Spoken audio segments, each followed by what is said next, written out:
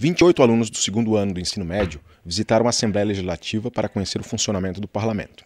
Os estudantes do Colégio Catarinense de Florianópolis foram recebidos pelo presidente Moacir Sopelsa, que lembrou a importância da formação política na construção da cidadania, em especial por ser um ano de eleição.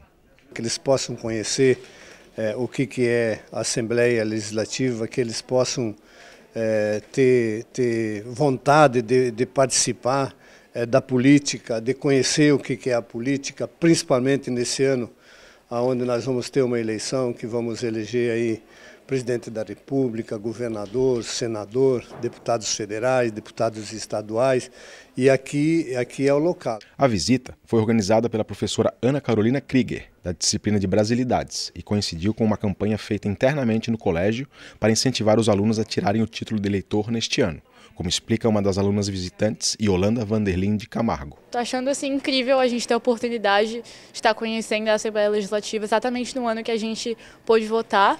É, teve uma campanha muito grande dentro do nosso colégio, dentro da parte do Grêmio, de fazer o título de eleitor.